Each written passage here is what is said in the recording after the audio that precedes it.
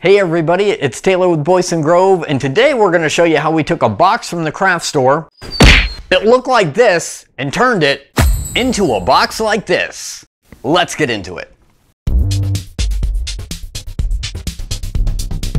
A friend of mine brought me this box that he had gotten at a local craft store and wanted me to cover it with decals as a gift for another friend.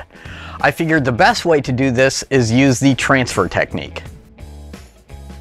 Okay, for this transfer technique, all you're going to need is an inkjet printer and some sticker paper or label paper. I got mine off of Amazon. I'll make sure to leave a link in the description below. You want to start by peeling the sticker or labels off of the paper, and then you want to put the paper in your printer with the slick side that the sticker was on so that that's the side that gets printed on. You also want to make sure that your image is reversed from how you want it to show up on your project because it's going to print out and then we're going to flip it over to put it on the project. Once your image is printed out, be very careful not to touch it because the ink actually doesn't absorb on this slick side, so it's just sitting there on the surface and it can smear really easily.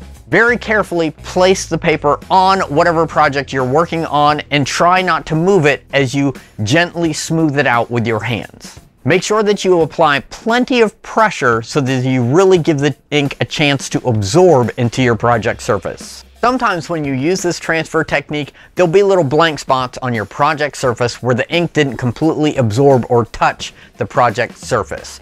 A fix I have found for this is taking some Q-tips and swiping the extra ink off of the paper and working it into those blank spots. Now we have found that this application works best on raw wood. I've tried it on wood that's already been sealed or stained or painted and the ink just kind of slides around because it really can't absorb into the wood any longer.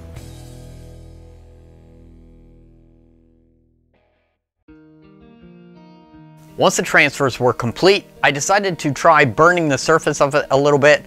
I don't know that I could consider this a full Shoshugiban method since I'm not charring the outside, I'm just singeing it slightly. When putting the torch to the box, I really wanted to concentrate on the corners and darken those and kind of let it lighten as it got towards the center parts.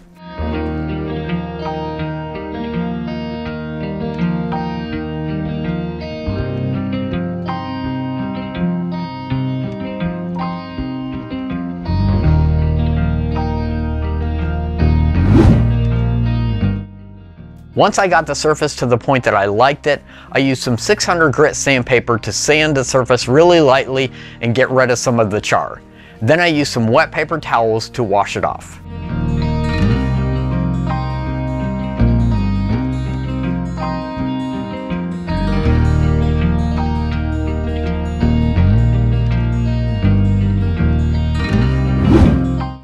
Afterwards, I taped off the box and spray painted just the inside edge. I don't need to spray paint the entire inside of the box since I will be filling it.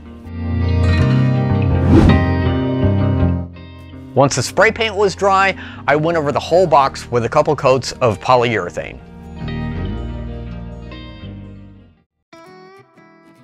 When everything was dry, it was time to begin the inside of the box. Since the box is so deep, I used some dense insulation foam to kind of fill it up a little bit.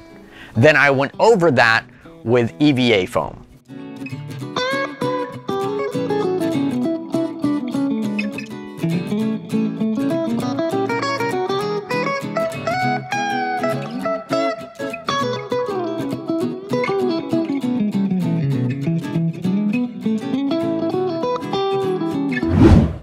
The EVA foam that I am using is just some of those floor mats that you can pick up at the local hardware store. I'll make sure to leave a link in the description below. I use Barge's cement to glue in the EVA foam pads.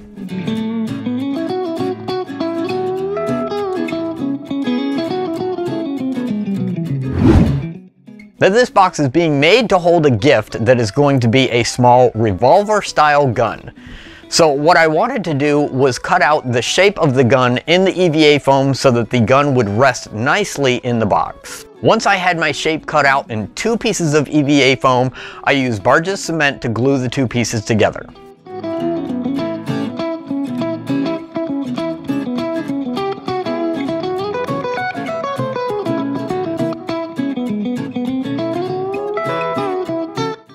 Then I used my rotary tool with a sanding drum to go around the edges to smooth them out. I also wanted to put a nice bevel along the outside edge. Once I got it to a place I liked it, I used a lighter to clean up the edges. The lighter basically kind of melts the fine particles of the foam so that it tightens it up and makes it look a little bit more smooth.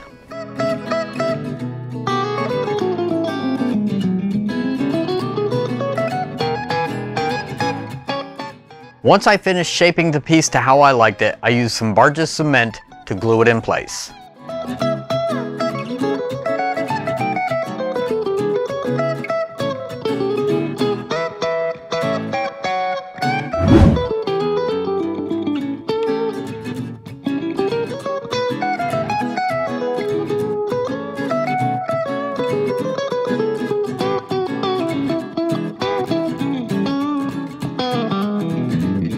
Once all the foam pieces were secured in place, it was just a matter of putting the box back together.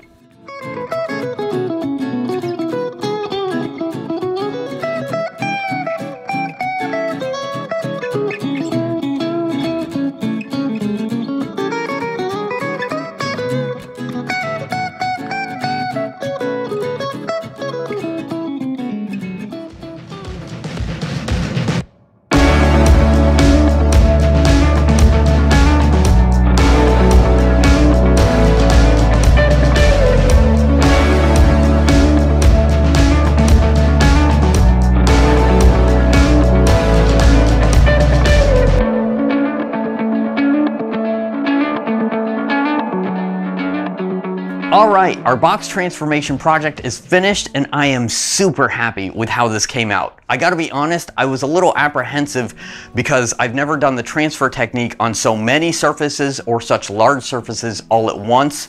I wasn't sure how that was gonna work out, but it really came out nice. Plus, I wasn't sure how the burning was gonna react with the transfers, if it was gonna burn it off or discolor it, but it actually aged it really nice. So this looks like a legit time-worn box. Really happy with the finish here.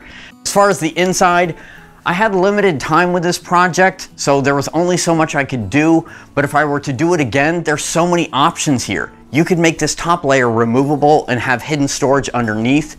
You could make another cutout here to display something else, or put a plaque or the company's logo of whatever you decide to gift or display. There's just so many options here and it makes a great gift for someone or a great way to display an item that you have.